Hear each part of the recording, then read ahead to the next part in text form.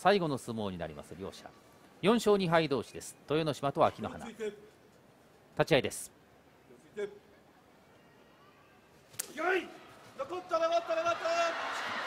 手を取って回り込みます。秋の花。残している。秋の花の勝ち。大きな豊ノ島の体をぐるりと回しました。あの一枚回しになったところが良かったんでしょうねなかなかあの上手投げは食わないんですけどね、もう一度見ましょうか。もう左差したら万全ですからね、そこをよくこの豪快な上手投げで。ここは一度残しました。この一枚回しっていうのが強みでしたね。この後重量豪快ですね。そうですね。準備ができますまでしばらくお待ちください